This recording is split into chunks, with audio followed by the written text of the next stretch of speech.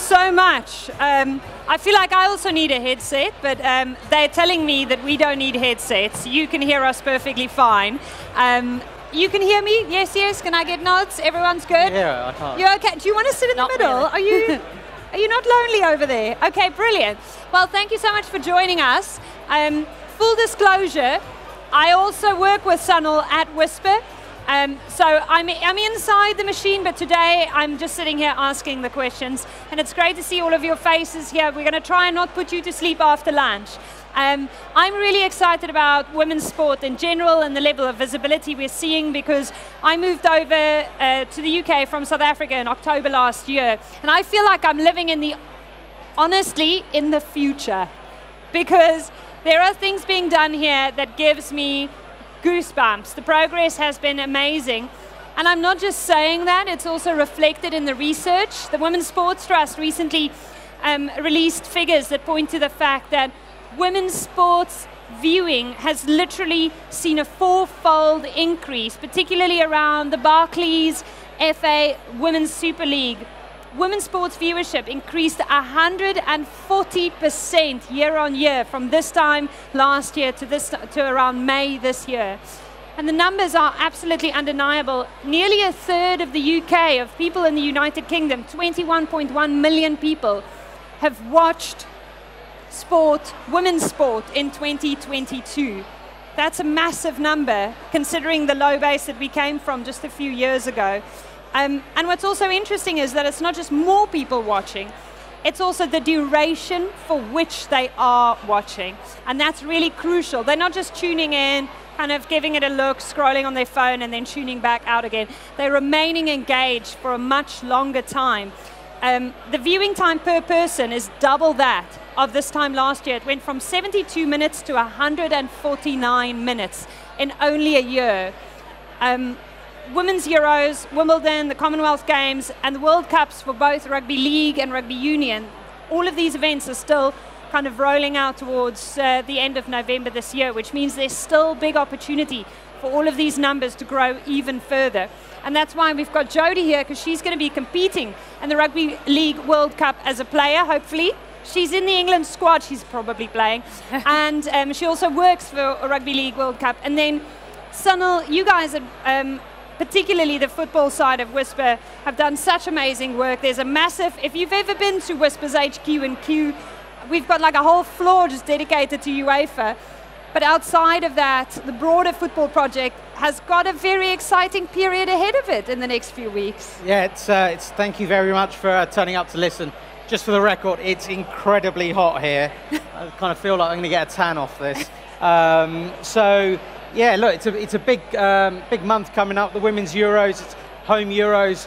Most importantly, it's on the BBC. Now, why the BBC is important is it gives us a platform. It gives women's sport a platform to really reach the masses.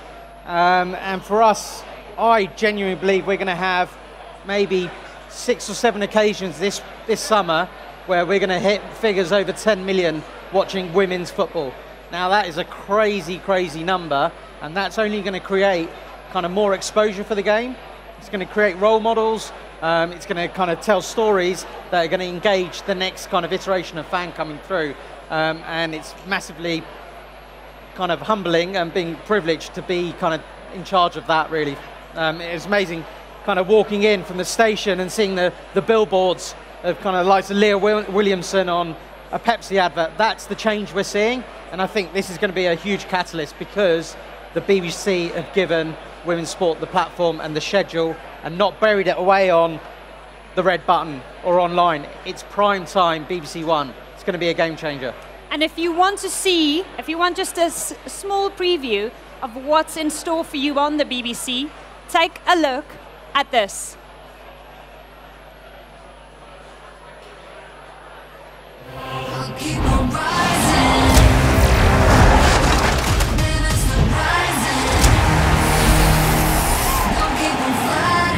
It's seeing an opportunity and taking it. Minutes the.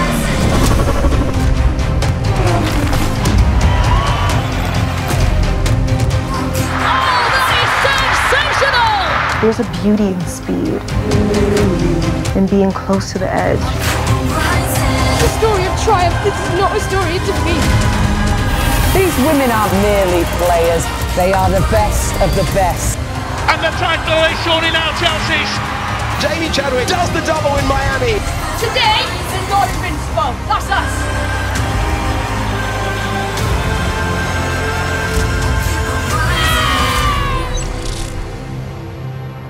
There we go. Um, I know the guys who sit in the dark edit suites who craft all of that stuff and put it together. And I know Sunil just cannot help himself. He's always in there. But that really is proof of, you know, the philosophy actually in action. What stands out for you in terms of the images that we saw there? I think it's the uh, the varied nature of what we've seen over there. When I grew up many years ago watching sport, men's sport, women's sport, in my mind there were only it was only really tennis, bit of athletics where you had female role models, um, Capriati, Graf, Martina, um, to name a few. These days you can go and watch cricket, and you've got at least you've, uh, you've got rug, uh, cricket with uh, Katie Taylor, you've got Lucy Bronze playing football, you've got Jodie playing rugby league. We're creating role models now, and when you have role models, whether it be in business or sport, it basically gives people an opportunity to aspire to be that next generation. And I think that's what excites me. There's role models in that film now, um, and people, I believe, at the end of the Euros in particular, that team won't be able to walk down the street without getting stopped for autographs and selfies. And to me, that's a sign of kind of progression. I think more people will get noticed from the women's football team than will be from the Formula One grid at Silverstone at the weekend. People could recognise Lewis Max. If Ocon walked in here, no one would recognise him. I think Lucy Bronze, come the end of the summer, would get mobbed. You've seen that in rugby league as well, right? Where your audiences have grown, not just the people in the stands, um, but also the platform and the visibility that you've had. Talk to me about that experience for you as someone who's been in the sport for a while. Yeah, absolutely. You know, I've I made my England debut at 17 back in 2009, and I played at, at the top of women's rugby league for many years. And it's not until the last sort of three, four years that we've seen any real exposure. When I first started playing, I didn't know that women even had a league to play in. I didn't know there was an England women's team. So I had no aspirations to go on and achieve that because I couldn't see it. And then it, wasn't until a coach had to tell me that, you know, you've got a bit of potential. I think you could go on and play for England one day. So that was it then. I had sole focus. That was what I wanted to do. I couldn't name you one England player. When I went and, and trained for the first time with England, I couldn't name you one of those England players. Now I could talk to you all day about how brilliant they were as people and as athletes now. Now I've played with them and trained with them. But it was so sad that nobody knew who they were and, and what brilliant things they did. Now I have young girls turning up to games with Cunningham on the back. I've got so many parents who come up to me and talk to me about women's rugby league now, and that's never happened before. I've got young girls saying that you're their role model, and I do have to pinch myself because it's so new to me. But the growth that we're seeing, young girls have the aspiration now to go on and do things. They're already saying at four or five years old, Mum, Dad, I'm going to play for England one day, and they now have the ability to go and shine on, on the top stage. So for me, having that exposure, being able to be on live, live television, free to air television on the BBC with the Challenge Cup that we've seen recently, it's been huge when we look at the investment we've seen. So the people at the top are obviously, we're having the benefits of it, but not just that, just the amount of young girls that are playing. Just last week, it was the first ever all girls under sevens fixture. Now that might not sound like a lot, but at under sevens it's mixed rugby league. Um, there's no difference between boys and girls. It's not a boys team and a girls team, but two teams locally had enough girls in, in their club to set up an all girls team at under sevens. Now that's unheard of. If you'd have gone back 10 years, you'd have been lucky to find one girl in a team at that age group. So for me, the added exposure, the profile on television, media, social media has been phenomenal for our game over recent years. What has been the single biggest, if you had to isolate all of those things, all of those platforms that you've now got access to, what's been the one driver that has had the greatest impact? for me, particularly being on that free-to-air BBC, I saw. I mean, we- had a couple of games. We had our first ever grand final on live on Sky uh, back in 2018. And then that, that was huge. That was a moment I never thought I'd see. Um, and then the following year, the BBC that said that they were going to show our, our, grand our Challenge Cup final live on the BBC platform. And for me as a player, it was an added incentive to do everything I could to get to that opportunity, not just to play in a final and win a trophy, which obviously is brilliant, but to be on live television and be recognised for what we do as athletes was huge. And off the back of that, the amount of people, instead of walking into whatever, whatever place it was, and if I spoke to them about rugby league, I, without doubt, 80 90% of the time, the comment back would be, You don't look like a rugby player. And it, it always baffled me, that comment, because I, I just used to say, Oh, sorry, I forgot to bring my rugby ball out when I left the house today. I don't know what they really expected by that. And then I would have to go on to explain, yes, it's contact rugby league, and yes, it's the same rules, yeah, it's completely the same. And they were quite naive questions. Now that wasn't, you know, they weren't being intentionally, you know, rude or trying to insult me. They just didn't know. Whereas now, usually people coming up to me and they already know I play, or if I say I play, they say, "Oh wow, oh, St Helens won the cup," and that's that exposure on BBC. People just being able to stumble across it and see it, be impressed with the standard because. For whatever reason, in women's sport, there's these preconceptions that it isn't entertaining, it's not good to watch. And then as soon as people actually see that and get exposed to it, they realise it's a fantastic quality. And it's not about comparing to the men actually it's its own sport in a way and there's, there's lots of intricacies that are really exciting about women's sport that make it different to the men's game and yeah i just constantly now get so many people recognizing what we offer as athletes We've seen, um, and the research shows this, in rugby union, the the audience is so much younger and so much more diverse than, than for men's rugby union. And that's one of the things that that's probably one of the biggest reasons that you want to grow a sport in the female direction because you just unlock a whole new generation, full stop, you know?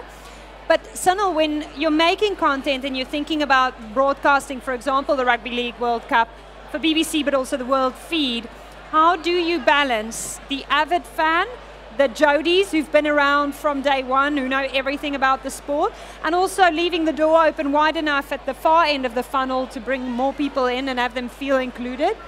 Um, that's a good question. I think, from my perspective, it's always been about try being authentic. Uh, never try to patronise people with the knowledge. But if we're to grow the sport, whichever sport it may be, and, and we had it with NFL when we first picked up NFL five or six years ago, it was a similar sort of thing where we had a lot of avid fans in the UK, but the NFL UK came to us and asked, how can you grow the sport? I said, the only way we're going to do that is if we open it up, broaden it up, and bring people on the journey and educate, Yeah. educate and build the characters uh, that are involved in the sport. So you've got to create heroes like Jodie for people to look up to. Um, so yeah, entertain and educate, would I, I would say. And I love that, and that was the bottom line of the video that we just watched about kind of entertainment being able to change the world, the fact that you can measure the impact of it over the course of a tournament or a season, or as you've just said, a few years. What's interesting about the impact that Rugby League is having is that you guys this year have a World Cup tournament being played, women's, men's, and wheelchair rugby league all at the same time. yes Has that even been done? No, uh, first time, and you know it's not easy. And I think it would have been much easier to stick to what we know. And I think that's a big part of the messaging when it comes to women's sport and women's marketing and, and disability marketing in the same way. It's really easy to say no and not do it. But actually, we have to try and change things, and, and the benefits that's come from that. You know, nobody enforced this on the Rugby League World Cup that they had to deliver all three. They just knew it was right for the game of rugby league, and I think we've already seen the benefits before a ball's even been kicked. The growth in the women's game domestically, I think, has been a, a large part of that has been because of what this World Cup has already promised to deliver. So the game has to catch up with that. So women's in wheelchairs grown massively, and I think a huge part of that is because of the Rugby League World Cup. But not just that. Some of the sponsors, the partners that have been brought in to the Rugby League World Cup are completely new to rugby league. Is the, the numbers and the figures that we're talking about have broke records internationally for, for Rugby League World Cups.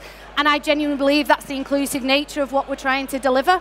Um, so for me, the, the benefits are just outweigh uh, whatever you can poss- whatever challenges you may face. The benefits outweigh that when you look at the whole package and, and the people you can bring in. You make it an inclusive environment for everyone to feel part of. And then once you have them in, How do you turn that into a habit? How do you keep people watching? So they've watched Jodie now. The Rugby League World Cup is a lot of fun. It's exciting. England wins it. You know, the Women's Euros goes England's way and you have a result there. England also wins the Women's Rugby World Cup, the rugby union down in NZ, and you have all of these champions. These people have all now watched women's, women's sport. How do you retain them going into 23?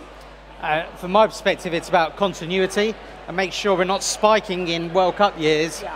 losing people, and then spiking again in the next World Cup cycle. So it's about that storytelling piece. It's about platforms, whether it be the BBC or kind of World Rugby, um, giving a platform to women's rugby, rugby league, uh, and make sure it's at the forefront so you don't lose and see a drop off. You maintain that audience and keep feeding that audience. So the sports that often struggle that we've worked with are the sports that don't have a regular calendar. So they might be two events in the first quarter, and then they don't pop up again until the third, fourth quarter. And by that time, people have moved on, and we're living in a world where we're bombarded with content, and you're making decisions all the time, and it's too easy to go, oh well, I haven't seen it, I moved on. I'm now into tennis because Drive to Survive equivalents come out. So it's about continuity and platforms investing beyond the big moments where they're going to get the 10 millions. So, Whisper as a business has decided to invest and really position, position itself around women's sport. This whole audience is made up of people who work in brands. What would your advice be to anyone else managing a different brand here sitting? Why should they be investing in women's sport? Where are the opportunities here? Um, from my perspective, I think uh, the cost to entry is much more appealing. I think men's sport has already topped out and it's very expensive, high risk to get into. I think women's sport is at a position where it's much more affordable to get in. I think you've got talent such as Jodie, by being here, who are making themselves accessible, give you access to the sport. Now, I've worked in sport a long time and I love it, but I do get fed up sometimes where you go to events and it's men's sport and you don't get access to the superstars. Whereas I think in women's sport, they're much more, in a moment where they're much more accessible and much more willing to invest, like Jodie, into their sport to grow it. So to have a brand come on board and, and be part of that journey is, is really uh, appealing. And Jodie, what I love about women's athletes right now, and you are an example of this because Jodie doesn't only play, she also works for the Rugby Football League, um, and she's on a day-to-day basis involved in actually getting more girls into the sport and developing the game. I feel like the women's athletes of today are going to be the administrators and the people really driving it in the next 10 years. 10 years from now, you will probably be leading your sport, not on the pitch, but in the boardroom. Where do you want women's sport to be then, or where do you think it'll be? I think the point that you've made is actually really important. Now that you're growing the profile and, and the, numbers of, of, of women playing the sport, what, what that means is that there's people in decision making positions. In five, ten years' time, that's what's going to be the case. And that has never been the case in rugby league before. And these just small decisions that are made that you know that if there was a woman sat at that table, it would have been different. And that's not criticising the people who are around the table, but you just need that diversity of thought and opinion of people who've lived through it. Um, so for me, I see the women's rugby league getting semi-professional. We're, you know, we're really close to that point. We're not there yet, but it has to be done right and in a sustainable way. So, you know, I, I don't think it'll happen in my playing career, but if I can sit there in a boardroom and see the first semi-professional, professional women's rugby league player run out on a pitch, it'll be a really proud moment. They've done it in Australia. They can definitely get it done here. So I can't wait to see it happen. Uh, thank you so much for joining us, Jodie. Make sure you follow Jodie and make sure you watch her play. Um, and all the best of luck, Sunil, with the next few weeks with the Women's Euros. Yeah, thank you very much. Thanks make, for coming. Make sure you tune in on the BBC. Thank you for joining us. Thank you. Thanks so much, guys.